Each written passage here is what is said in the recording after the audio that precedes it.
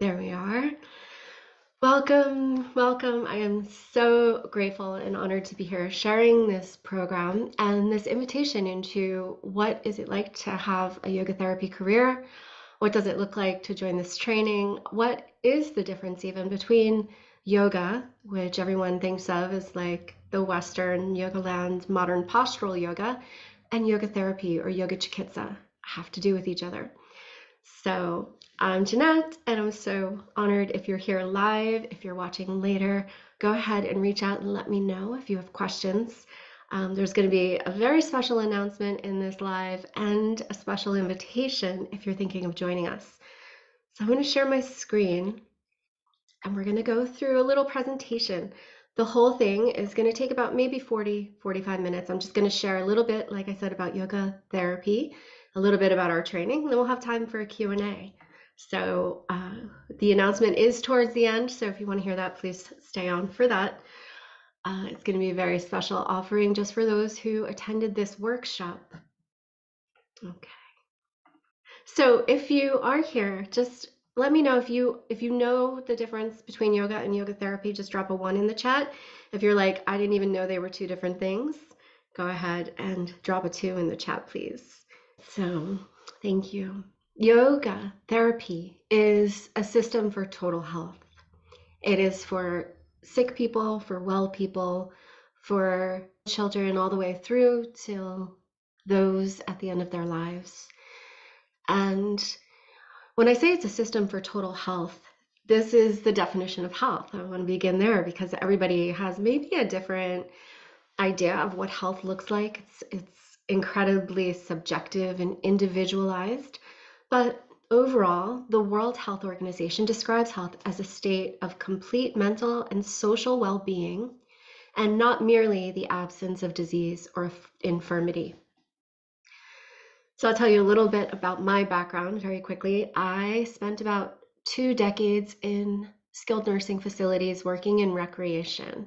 I was a direct care member, and then I became a director, and then I became a regional director and a VP of operations for a healthcare company. And through that time, my roles changed significantly, but the level of what I was doing never changed. And that was bringing a sense of well being to the residents of these facilities through this whole person approach, this holistic, whole, whole person approach to well being. And this is where yoga came into play.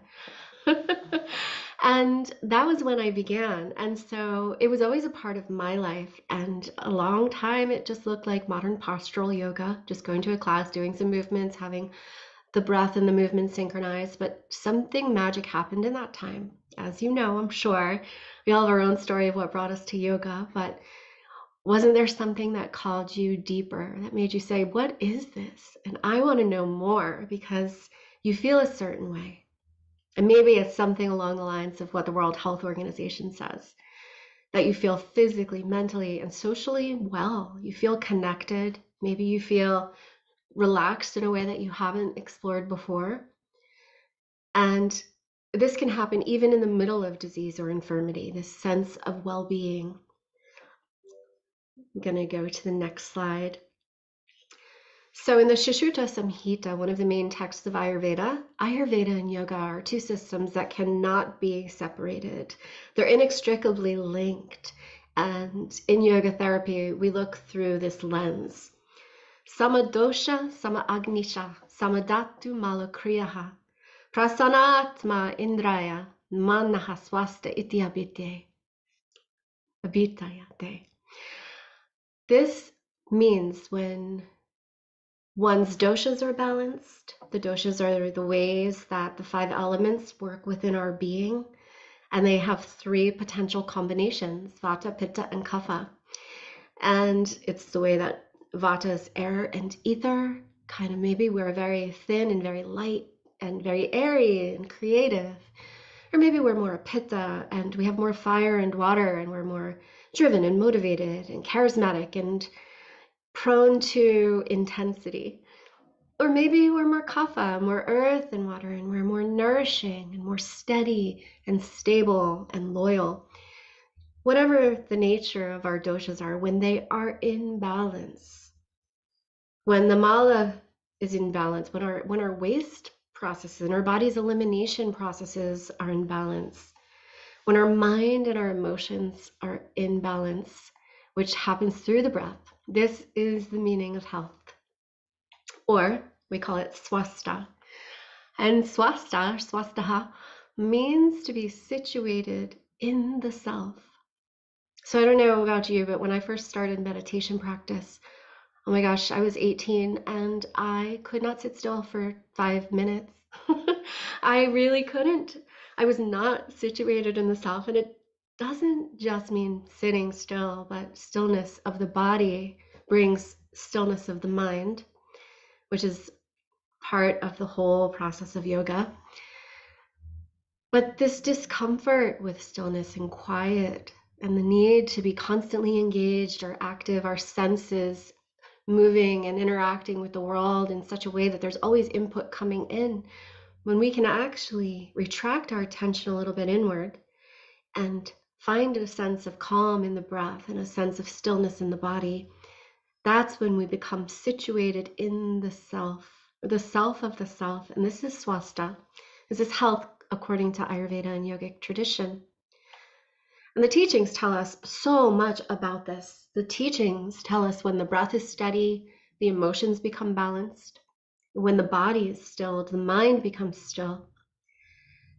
And we can consciously focus to become present in the moment, whether we're washing the dishes or walking down the street or moving through our day.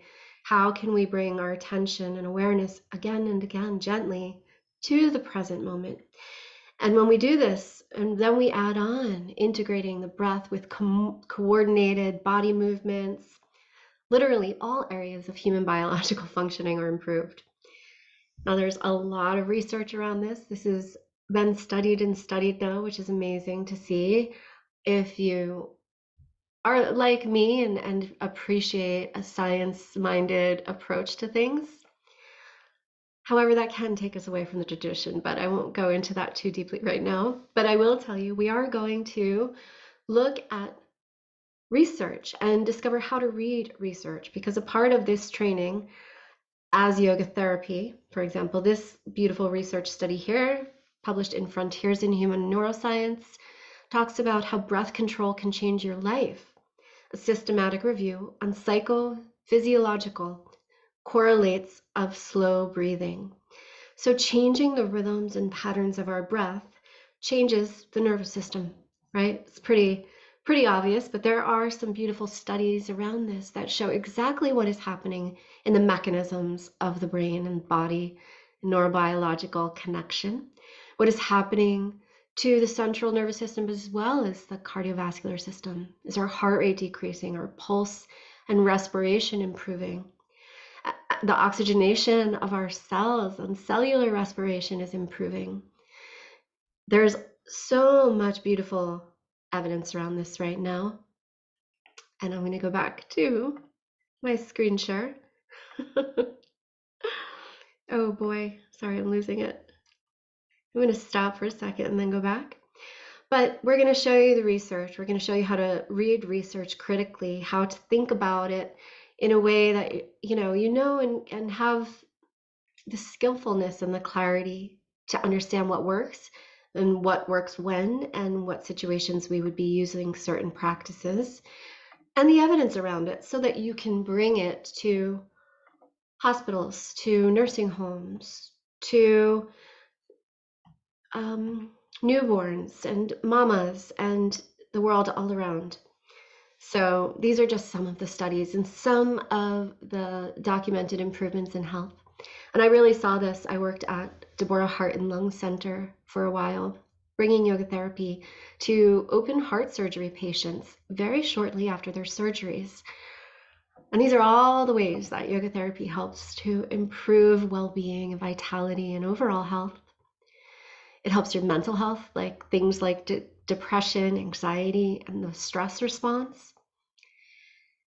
It improves your physical health, improves flexibility, strength, and balance, and overall physical function. It improves balance and muscle strength in specifically adults with knee osteoarthritis. And this was just one study that had really positive outcomes. But ultimately, it's increasing interoception, and that is the way that the body and brain communicate. And so, when the body and the brain are communicating better, and we have an understanding of what's happening internally, the messages from our body, we are more likely to feel better, to function better, to move better, to breathe better. So this has long standing, you know, beautiful benefits that last and last as long as you have a consistent and steady practice. Yoga therapy improves sleep. It helps people with insomnia. There's a lot of work around yoga therapy for people with trauma. It improves your cardiovascular health. And you wouldn't think of this because it's not necessarily cardiovascular exercise. But again, when we improve heart rate variability, our cholesterol improves, our blood pressure regulates, and overall, yoga therapy has been found to be effective in improving such a wide range of physical and mental health conditions. Um, so, lots of beautiful things that it can do for you. And in the program, in a little bit today, we're going to talk about how and why. Why does it improve all of these areas of life? Why are the studies, the innumerable studies out there right now showing the benefits of yoga therapy? Well, the first one is down to the eight limbed path, the basics of the yamas and niyamas, which we'll go over.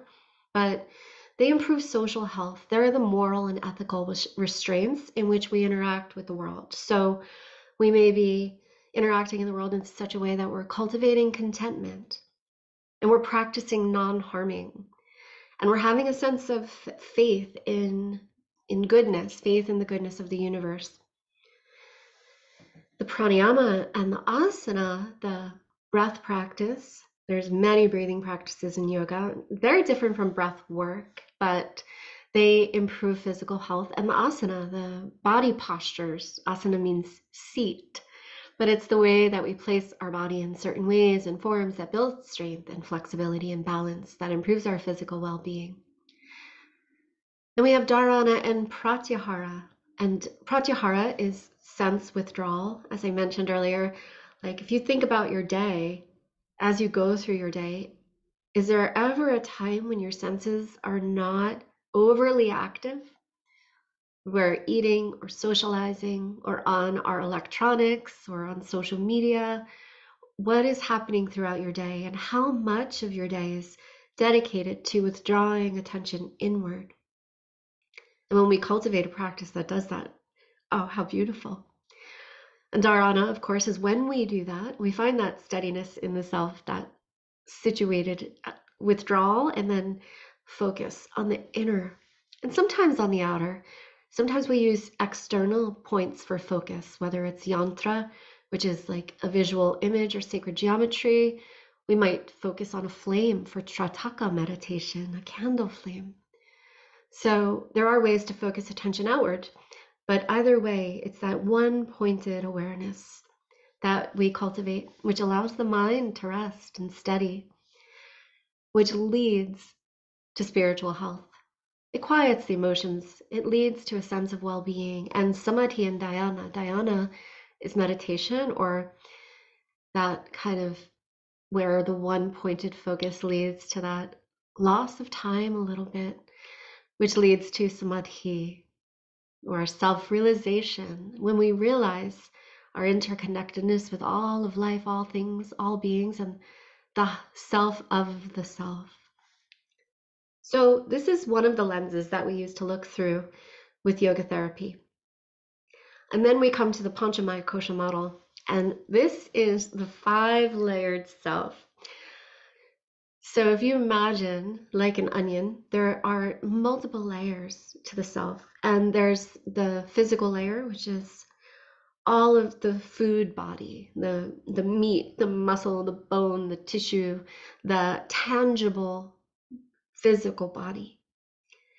And then there's the breath layer, the pranamaya kosha, or the body that is subtle, that we can't see, but it's still tangible enough that it can change our state. It can change our mental emotional state. Again, when we study the breath, our breathing patterns can be indicators of a lot of things that are going on physically and emotionally. Like if you're scared, does your breath increase and your heart rate increase? And if you are in pain, maybe you tend to hold your breath or like breathe in a really shallow capacity.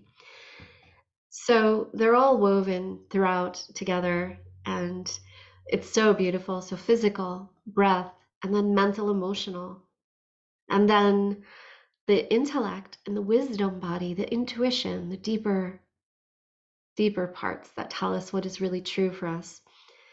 And finally, the innermost layer, according to the yoga tradition, is bliss. That our natural state, our innermost state, the state that is most connected with the truth of ourselves, is bliss. But we have to i thought i had a picture here so i apologize but we have to penetrate all of these other layers the physical layer. If you imagine if you are actively fighting a disease process we cannot necessarily or not easily access the bliss body. It feels very disproportionate in its accessibility and so yoga works through and with all of these layers to help us remember help us remember the self of the self and our true nature so it's so beautiful to share. If you have been a student of yoga for a long time, you know the feeling. Maybe it's what calls you to be a teacher or a therapist. This awareness of the depth of the practice and the gifts that it can give you. All right. So let me know if you have any questions so far. Feel free to type them into the chat, and I'm going to move into a little bit about our Yoga Therapy Foundations program which is beginning so soon. And I have a very special announcement about it um, that I'll be offering in, in just a few moments. And I see that Kat is joining in. Um, welcome, welcome. So good to see you. Perfect timing. As things are and generally tend to be, right? We find the right people in the right time, the right yoga studio that feels like home in the right moment, and maybe the right training in the right time too. So we have some incredible faculty. I'm so blown away by and honored that all of these beautiful teachers and therapists and students of the yoga tradition, longtime students and teachers, have agreed to be part of this. And we're coming together to create something so beautiful and meaningful that's going to take you as the student very deep into the teachings of yoga. There is this sacredness and intensity and beauty of practicing and learning virtually that is so individualized because you're doing it in your own home, on your own time, in such a way that it's at your own pace and it makes you feel really good. So I'm going to just take you through a little bit about of our faculty here again, world renowned stewards of the tradition, teachers, and lead faculty members, as well as some incredible guest speakers. So I'll share with you first about Kaya. Kaya, I met Kaya about two years ago, and I've been practicing again for 30. And instantly, she became one of my favorite teachers of all time.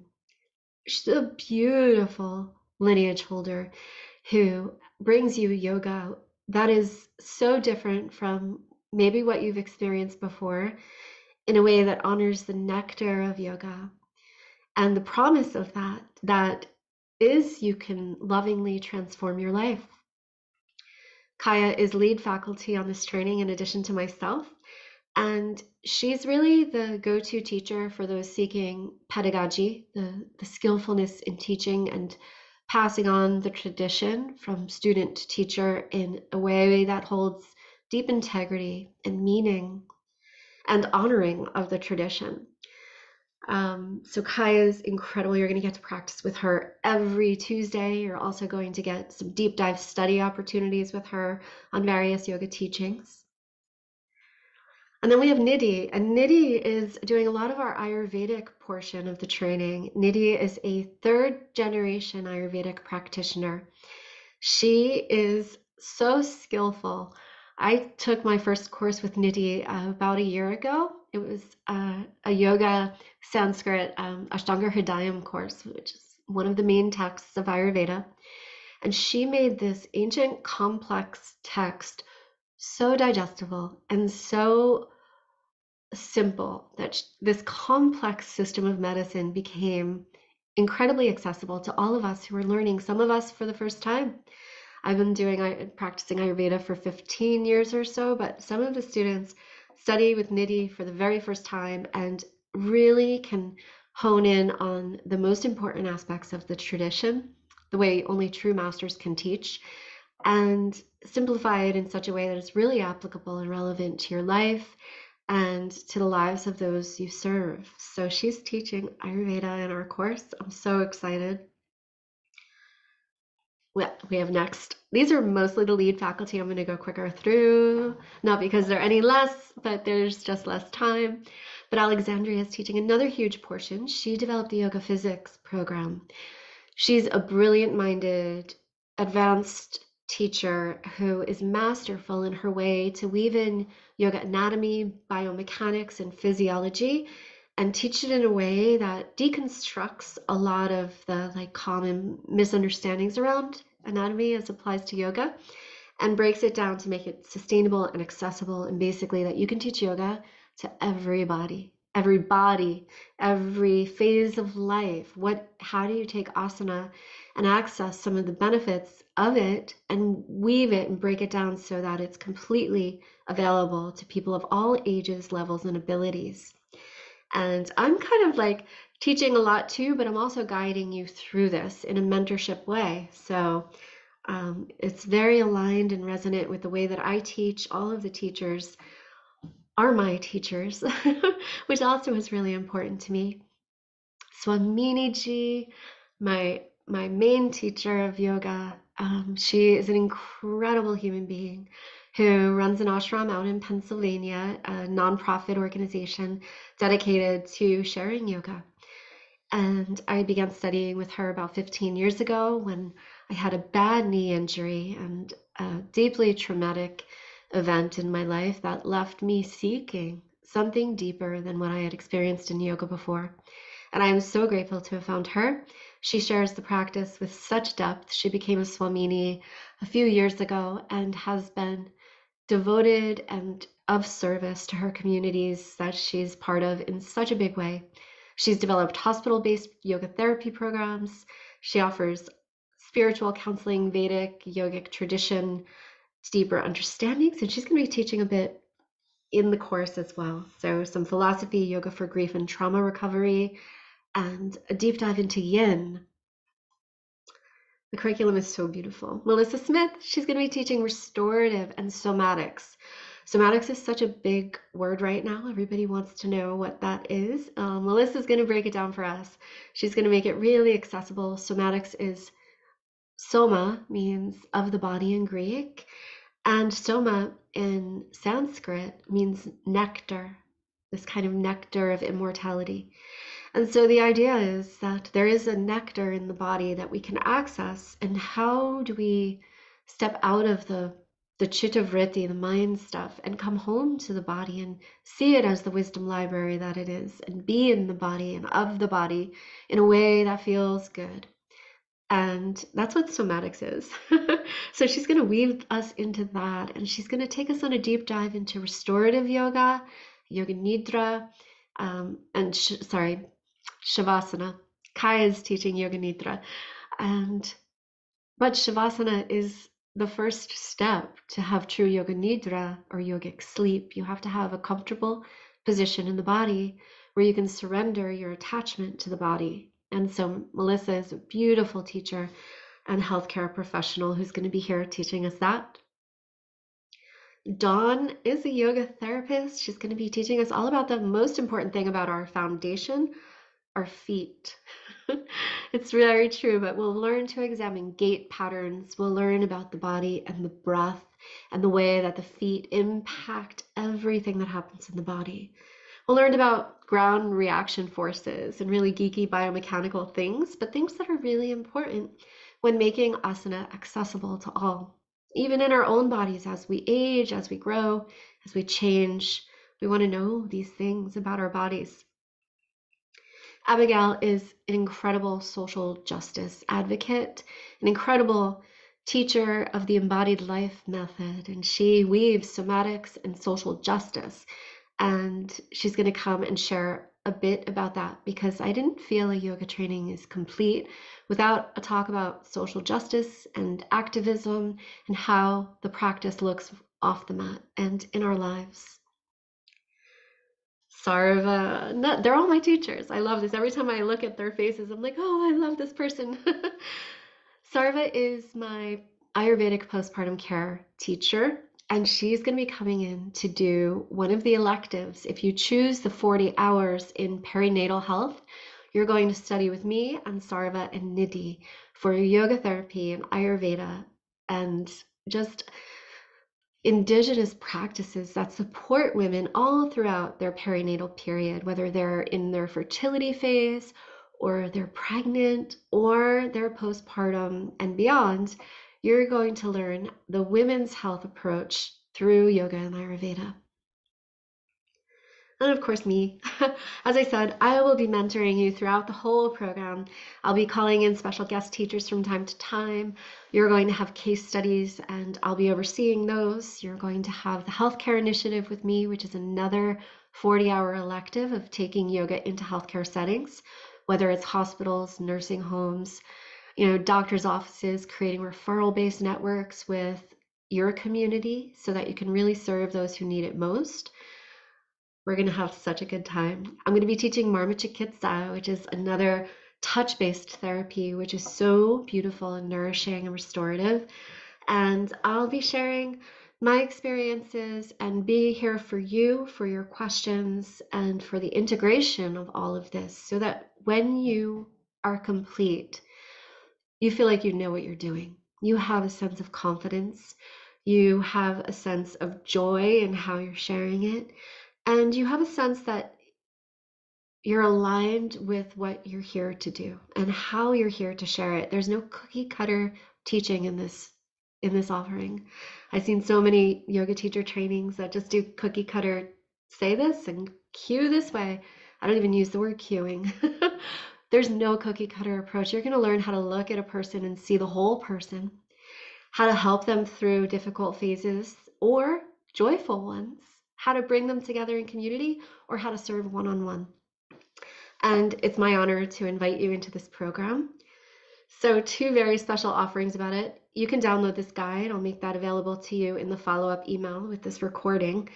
And you can take your time to look through it the core curriculum, which is 120 hours, and then the choose your own adventure electives, which take you either deeper into yoga teachings, deeper into perinatal care or health care. You can decide to go in the realm of Yoga Nidra, which is yogic sleep and deep rest and meditation, works beautifully with people with trauma. Or you can learn Marma Chikitsa. Um, you can choose so many different options too, because there's you know, a whole host, 130 hours of electives for you to choose from. So there's so much beautiful, beautiful threads that are weaving together in this program, beautiful teachers. And the program so rich and so full, and it's going to prepare you for everything you need to know in order to show up and teach therapeutic yoga. Um, so that is all I have for this moment. I promised you that I was going to give you a special invitation in addition to the special announcement. So, if you are ready, if you are ready to sign up in the next 24 hours, I'm going to gift to you, we are going to gift to you Kaya Minlin's program, The Nectar of Time. So, I'm going to send out a lot more beautiful information about this in the email. But Kaya let me go back to Kaya so you can have her face here while I talk about her. She, again, is lead faculty in this training, and she has a beautiful adjunct program to one you're getting access to already, which is the Supreme Release Yoga every Tuesday class. She has a program called the Nectar of Time, and this is a storytelling program that takes you through uh, Jyotish, the Vedic astrology, and how time plays a role in what we're experiencing in any given moment. She'll share and weave in sacred teachings and recipes, and again, like I said, stories in such a way that help you embrace yoga as a part of your daily life from moment to moment, season to season, holiday celebration, and more. So that is so incredibly exciting. That's for the next 24 hours only. And I'll send out more information about that program to Kaya's Nectar of Time. If you are interested in the virtual training, there's still time to sign up, although it's slipping away. So reach out. So, with that, I'm going to close out and open up for questions. If you're watching later, you'll receive a link to schedule a one on one chat with me and a link to sign up if you're just ready. We have three different payment options. Payment plans are available. We have a couple of scholarships available for those that qualify. We have some criteria around that, of course, but whatever the case may be, we want this training to be nourishing and accessible and joyful for every participant. So, very warmly welcome you in. And I will stop talking. I will stop the recording and open up times for a Q&A. As always, feel free to reach out and be well. Om.